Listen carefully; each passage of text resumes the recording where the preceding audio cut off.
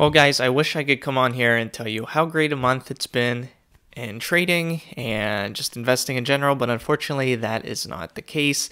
And today, I just wanted to update you guys on me selling some puts and calls, I guess, not just puts, on the side for some extra income.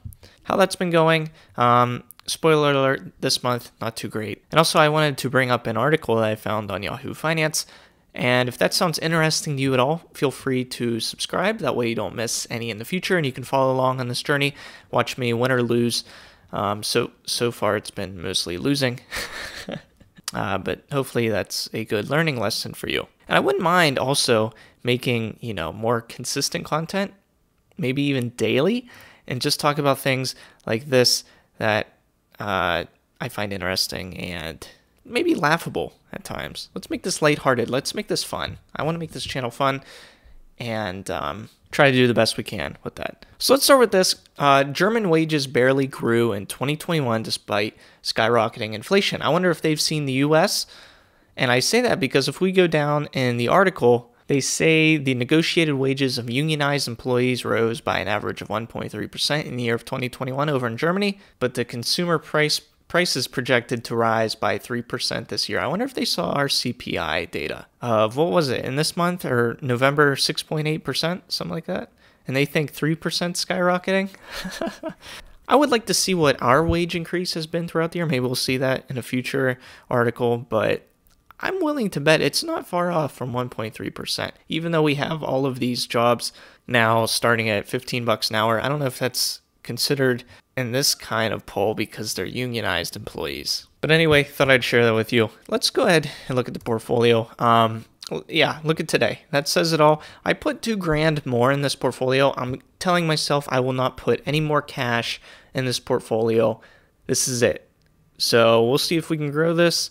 Um, I don't know if I'll stick to that or not, but for right now in my head, I'm like, this is it. That's all the money I'm putting into this portfolio. And if we go to the whole month, I am down almost 10 grand. So not a good feeling. Um, we do have some options expiring tomorrow. So we have a bunch of call options that I sold and none of them look like they'll get assigned anytime soon because all of their prices are far from the strike price that I sold these call options at. And then something else I've done, you might have noticed if you're an astute viewer of my last video, is I rolled back a few of my puts and we'll see in my spreadsheet how much I gained in credit.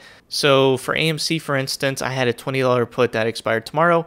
It started going down. It got pretty close to 20 earlier in the week. So I went ahead and I rolled it back to next Friday, gained some more premium, and so far it's been working in my favor. So the cool thing, I mentioned this in my last video, feel free to go check that out. You can also make some more premium, and if you want, possibly, you're able to lower the strike price if the stock continues to go down. So that's one of the things where time is on your side. And I did that with a few of these. Um, CCXI, I also rolled back. I rolled back two of my Astra puts, and that's pretty much it. I've um, just been rolling back, and so far, it's done me okay. So far this month, we are actually up 670 bucks in premium. If everything stays as is, and I don't buy to close, I might buy to close a few of these, and so maybe this number will change, but um, if I let all of these just expire worthless and not get assigned, or if they get assigned, uh, I'll make 670 bucks so far this month in premium, which isn't too shabby. Even after that failure of the put credit spread and me testing that out. So, because that made me lose $174. I think tomorrow I want to talk about a particular stock um, that I find interesting and maybe we can do a little a little brief discussion on that. It's called Marqeta. And we might talk about this stock in particular tomorrow. Um, not sure if I plan on selling any puts on this stock in the future, but I do find it interesting and stay tuned for that if that video does come out. And I hope to see you in the next one and feel free to subscribe like I said and always take care.